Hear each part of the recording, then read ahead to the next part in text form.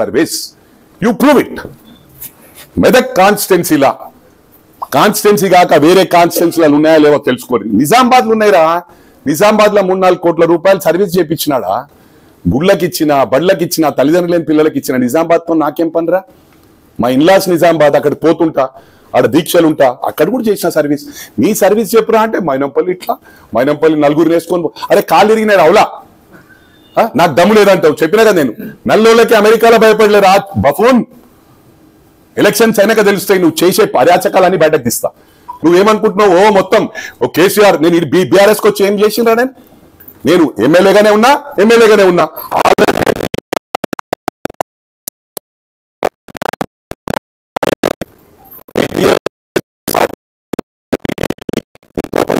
నీకేముందిరా చరిత్ర?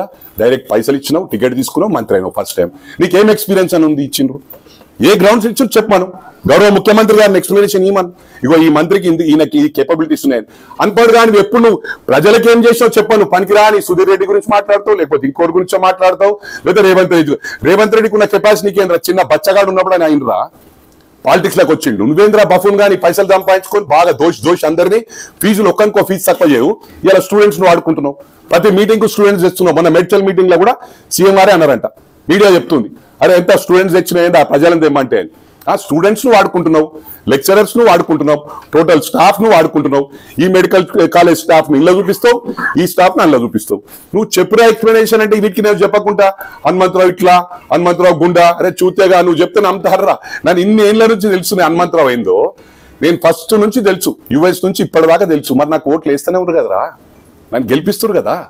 నువ్వు డబ్బులు పెట్టుకొని ఆగమాగం చేస్తున్నావు. ప్రజలు ఎట్లా కాదు నీకు మంచి మంచి బుద్ధి చెప్తారు నేను నేను బగాయిస్తారు నేను. మేడ్చల్కెళ్ళి రాసి పెట్టుకో. నువ్వు అనుకుంటున్నావు ఇలా ఏదో మాట్లాడేసిన హరీష్ రావుని కృషి చేసిన. హరీష్ రావు ముఖం చూడరా ఇంతకు మరి? ఆ సగం ఏడుపు సగం నవ్వు ఉన్నది ఆయనది. ముఖంలో కలనే లేదు. నువ్వేం రా చెప్తున్నావు? హరీష్ రావు గారు ఎక్కిస్తాడు మస్తు. "ఓ, హనుమంతుడు నన్ను అనుర్రే." అను మస్తు అనూరి నీకేమేమి అనరు అనూరి నీ- నేను నేను ఎక్స్ప్లెనేషన్ ఇచ్చి చెప్తున్నా నేను. ఉట్టిగా మీలాగా బఫుంగాన్లా మాట్లాడతలే. ఫస్ట్ నన్ను క్రిటిసైజ్ చేసింది నువ్వే. మల్కాజ్గిరిలో మొత్తం బయటోళ్ళని బాలాజీ నగర్ జవహర్ నగర్ పైసలు ఇచ్చి తీసుకొచ్చి ఆడ మొత్తం స్పీచ్ ఇచ్చిన ఏమన్నా అనరా నేను. నేనేమన్నా గాడి మొక్కమటని ఇవాళ చెప్తున్నా. గాడిద మొక్క ఫస్ట్ అర్థం. క్లోజ్ అవుతావు నువ్వు. ఈ పిచ్చి పిచ్చి మాట్లాడు మానే నువ్వు ఎన్ని ఏం చేసినా పైసలు ప్రజలకు కూడా చెప్తున్నా మల్కాజ్గిరి ప్రజలకు. ఈ నా కొడుకు మన దొరకడు. మొత్తం మన ఫీజులు మన ప్రజల డబ్బులే దోషిండు ఇష్టం ఉన్నట్టు కలెక్ట్ చేసిండు. హాస్పిటల్ పేరు మీద కూడా మొత్తం దోషిండు. వీళ్ళు డబ్బులు తీసుకోండి మీకు హండ్రెడ్ పర్సెంట్ మీకు లాస్ట్ లా హండ్రెడ్ పర్సెంట్ మైనంపల్లికి ఓటేయండి తప్పకుండా నేను మీకు కంఠంలో ఊపిరిండే వరకు నేను ప్రామిస్ చేస్తున్నా. వాన్లాగా నేను కాదు.